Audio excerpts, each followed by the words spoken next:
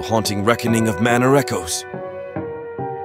In a secluded corner of the woods, veiled by mist and silence, loomed the foreboding manor of echoes. For generations, whispers of its shadowy past had haunted the minds of those who dared to venture close. Yet it was on the same fateful date each year that the world beyond the manor's walls would shudder in terror, as a series of gruesome murders unfolded within its cursed confines. Macabre tale of the Manor of Echoes traced its origins to a chilling seance held decades ago within the dimly lit parlor of the mansion. A group of audacious thrill seekers had gathered with the misguided intention of summoning the spirits of the departed.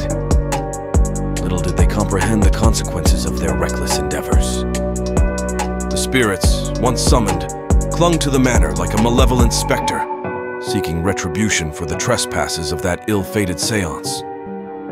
As time marched inexorably forward, those who had partaken in the unholy ritual met their grisly ends, victims of circumstances both grotesque and inexplicable. The townsfolk whispered in hushed tones, sharing tales of vengeful apparitions exacting revenge upon the living for their forebears' transgressions.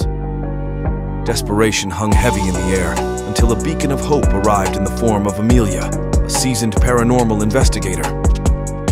With unyielding determination and an array of spectral detecting instruments, Amelia ventured into the dread-infused heart of the Manor of Echoes, determined to communicate with the spirits and unearth the truth that would, at last, put an end to the sinister cycle.